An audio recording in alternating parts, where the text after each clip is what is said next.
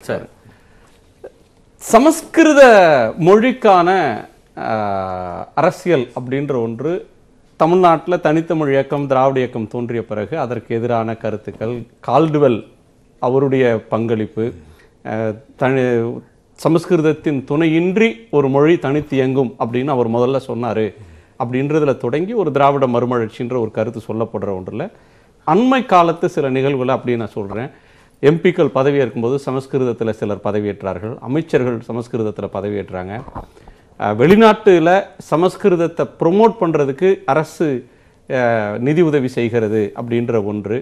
இது வந்து சமஸ்கிருதத்தில் இந்திய ஞான மரபு இருக்குது எனவே அதற்கு வந்து நம்ம முக்கியத்துவம் தர வேண்டும் அப்படின்ற ஒரு கருத்து மத்திய ஆட்சியாளர்களால் முன்னெடுக்கப்படுற அந்த பொலிட்டிக்கல் பேக்ட்ராப்பில் இருந்து இந்த இது தற்செயலாக ஒன்று வந்திருந்தா அதை வந்து கண்டுகொள்ளாமல் கூட போயிருந்திருக்க கூடும். அந்த அரசியல் நீட்சியாக இது வந்து ஒரு பேசு பொருளாக இந்த எது மூத்ததுன்ற ஒரு பிரச்சனை வருதா? நிச்சயமாக. இன்று இந்த பிரச்சனை ஒரு பலராலும் ஏன் நம்முடைய தொலைக்காட்சியை விவாதிக்கிற அளவுக்கு வந்திருக்கிறது என்றால் இதற்குள் இருக்கக்கூடிய அரசியல் அல்லது அரசியலாக அது பார்க்கப்படுவது. இன்றைக்கு தமிழகத்தை பொறுத்த இந்தியாவை பொறுத்தவரையில் அதிகாரத்தினுடைய எல்லா மூல நரம்புகளையும் முக்கிய இடங்களையும் ஆர்எஸ்எஸ் என்கின்ற அமைப்பு வியாபித்திருக்கிறது. அந்த அமைப்பு ஒரு சமஸ்கிருத மேலாண்மையை ஊடாக ஒரு உயர் ஜாதித்துவத்தை நிறுவுகிற ஒரு அமைப்பு என்பது ஊர் அறிந்தது உலகறிந்தது. அது சொல்லி நாம் தெரிய வேண்டியது அல்ல. அதை லெஜிட்டிமைஸ் பண்ணக்கூடிய ஒரு லெஜிட்டிமைஸ் பண்ணக்கூடிய ஒரு இன்ஸ்ட்ருமெண்ட் ஒரு உபகரணமாக சமஸ்கிருதத்தை அது முன்னிறுத்துகிறது.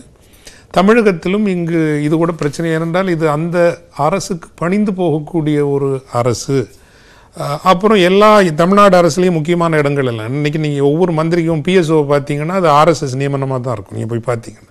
அங்கங்கேயே இருக்க வேண்டிய இடங்கள் எல்லாம் இப்படி இப்படி கொஞ்சம் கொஞ்சம் புகுத்துற இதெல்லாம் நம்ம பக்கத்தில் இருந்து பார்க்குறதுனால தெரியுது இல்லைங்களா? ஸோ கல்வித்துறைக்குள்ளும் இப்படிப்பட்ட காரியங்கள் ஊடுருவுங்கிறது என்கின்ற பார்வை தான் இன்றைக்கி இது ஒரு சர்ச்சையாவதற்கும் ஒரு ரெசிஸ்டன்ஸ் வருவதற்கும் காரணம். இப்போ இதில் ரெண்டு வகையில் பார்க்கணும். இந்த அரசியலுங்கிற கேள்வியை கேட்டதுனால தமிழ் என்றைக்குமே சமஸ்கிருதத்தை அழிக்க வேண்டும் என்று எண்ணியது இல்லை. அது நிறுவன ரீதியாக அப்படி ஒரு முயற்சியை ஒரு காலத்திலும் அது மேற்கொண்டது இல்லை. ஆனால் சமஸ்கிருதம் அந்த முயற்சியை காலாகாலமாக செய்து வந்திருக்கிறது. அது நமக்கு இருக்கக்கூடிய ஒரு வழி ஒரு ஏமாற்றம் கூடவே ரெசிஸ்ட் பண்ணணும். இப்போ ரெசிஸ்ட் பண்ணணுங்கிற ஒரு வேகம் வர்றது அதனால தான் நீங்கள் எதனால் எதுக்கு இந்த ஊரில் மலையாளம் வந்தது?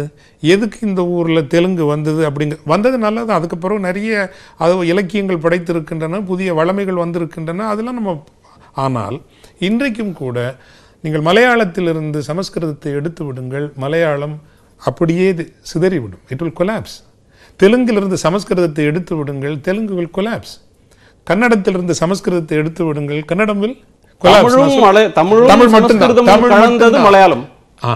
அதான் அந்த ஸ்கிரிப்டை லிபியை மட்டும் மாற்றி பண்ண ஒரு வித் அப்போ அப்போ பிரிக்கிறதுக்கு அந்த பிரித்த போதே ஒரு அரசியல் இருந்திருக்கணும். இவங்க ஒரு மொழியை பேசுகிறவர்களாக ஒரு மொழியில் ஓரணியில் திரள்கிறவர்களாக இந்த நிலம் முழுதும் இரு- இருந்திருக்க வேண்டும். காரணம் சார் ஐயா சொன்னது மாதிரி இண்டஸ் சிவிலைசேஷன் சிந்து வெளி நாகரிகம் அஃப்கோர்ஸ் ப்ரோட்டோ டிரவிடியன் சொல்கிறாங்க திராவிடன்னு சொல்கிறதுக்கு கொஞ்சம் தயக்கமாக இருக்குது.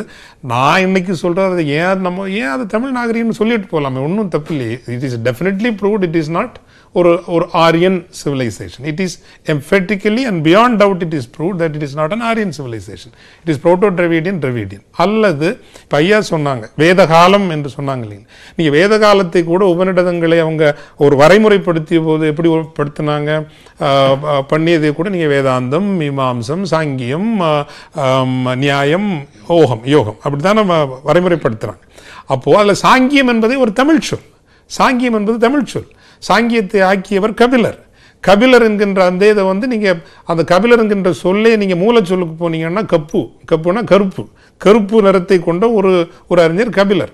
இப்போ வேத காலத்தில் வரைமுறைப்படுத்தப்பட்ட ஒன்று கூட அது முழுமையான தமிழ் பெயரை கொண்டதாகவும் இல்ல எல்லாம் கரெக்ட்டுங்க. எல்லா கோட்பாடுகளும். அதில் இருக்கக்கூடிய மெய்யியல் கோட்பாடுகள் எல்லாம் பார்த்தீங்கன்னா தமிழ் கோட்பாடுகளாக இருக்குது. அல்லது இன்னொன்று கூட கேட்குறேங்க நீங்க அஹ், எந்தாவது ஒரு புராணத்தில் நீங்க சொல்லக்கூடிய வேத காலத்தினுடைய புராண புராணத்தில் இமயமலையினுடைய ஒரு செடியையோ ஒரு மரத்தையோ ஒரு கொடியையோ ஒரு விலங்கு இனத்தையோ பதிவை நீங்க பார்க்கவே முடியாது. இல்லை. இமயமலையினுடைய வேத- காலத்தில் இருந்த? வேத காலத்தில் வந்த நீ உங்களுடைய இலக்கியத்தில். எதுலயும் இல்ல சமஸ்கிருதத்தில் இல்ல. இல்ல. ஆனால் சங்க இலக்கியம் முழுதும் காண கிடக்கிறது. நீங்கள் இன்- இன்று நாங்கள் மொழிவாரி மாநிலமாக பிரிக்கப்பட்டு ஒரு ஒரு எல்லையில் நாங்கள் சுருங்கி விட்டோம் ஆனால் எங்கள் பதிவுகளில் எங்கள் இலக்கியங்களில் பாலைவனத்து ஒட்டகங்கள் நாங்கள் காண்கிறோம். பதிவுகள் கிடக்கின்றன. இமயமலையினுடைய மயிர் நீப்பின் உயிர் வாழ கவரிமான் என்பது ஹிமாலயன் எல்க் அது ஒரு சர்டன் altitude கீழே இறங்கி வந்தா முடி உதிர்ந்து செத்து போகும். இது பார்த்த கவிஞன் தான் மயிர் நீப்பின் உயிர் வாழ கவரிமான்.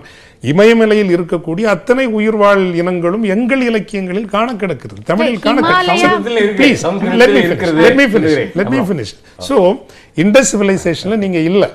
அல்லது வந்து இந்த இமயமலையினுடைய குறிப்புகள் கூட எங்கள் இலக்கியங்களில் தான் காண கிடக்கிறது. அல்லது இது போன்ற இன்னொன்று நான் சொல்லுகிறேன். சமஸ்கிருதம் ஏன் நான் தமிழ் மூத்த மொழி என்று இப்போ தமிழுக்கு வந்து ஒவ்வொரு எழுத்துக்கும் தன் மூலச் சொல்லை தேடிக்கொண்டு நிறுத்துகிற ஆற்றல் தமிழுக்கு மட்டும்தான் உண்டு. சமஸ்கிருதத்துக்கு இல்லைங்க. தயவு செய்து புரியல. தன் தன் ஒரு தன் எழுத்தினுடைய மூலச் சொல்லை அல்லது ஒரு சொல்லினுடைய மூல ஒரு எழுத்து வேர்ச்சொல்லை, வேர்ச்சொல் கொண்டு. நிறுத்தக்கூடிய எட்டிமாலஜி இப்போ ஃபார் எக்ஸாம்பிள் நீங்க இப்போ இப்போ சொல்றீங்க இல்லைங்களா? இப்போ நீங்க திஷா இப்போ என்ன சொல்லுவீங்க? திஷால இருந்து தான் என்ன வந்தது? திசை வந்து திசை வந்தது. திஷா எங்க ஒரு வேர்ச்சொல் சொல்லுங்க. நான் திசைக்கு நான் சொல்றேன். திஸ் திஸ் அப்படின்னா டைரக்ஷன் அர்த்தம். திஷ் திஷ் எங்க இருந்து வந்தது? திசுக்கு தி திசுக்கிற இருக்கு. அதான் தீ தீக்கு அதான். தீ எங்க இருந்து வந்தது சா எங்க இருந்து வந்தது?